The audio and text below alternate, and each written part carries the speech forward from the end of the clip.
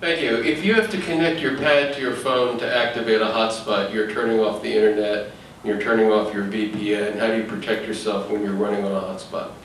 When you're running a hotspot, you enable, uh, well, first of all, when you set up a hotspot, and I actually, for the demonstrations I did today, I actually use my own hotspot, a Verizon hotspot, and what I do is I enable what they call WPA2, which is a security protocol, wireless security protocol. So when I'm talking, when my computer is communicating with this device, it's encrypted, right? So if you have your own personal hotspot, you absolutely should, I think by default, a lot of uh, mobile operators are, you know, enable WPA2, but you should absolutely not have it open. Um, And that's actually better than using an open wireless access point, is bringing your own, uh, bringing, I mean, purchasing and then bringing to wherever you need to use an internet, bringing your own device with you. Now, is that end all and be all of not being hacked? No, because we have things called IMSI catchers. Law enforcement uses these devices called stingrays.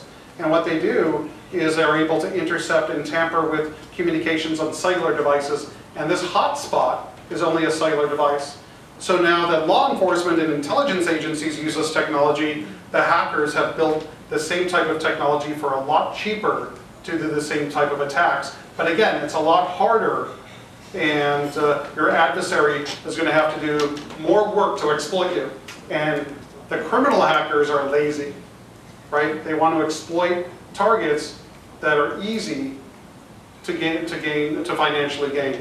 If you're a target because someone's doing an economic espionage, or you're working for a federal government and you have some information, then it might be worth the adversary's time to target you with a more, Uh, more sophisticated exploit.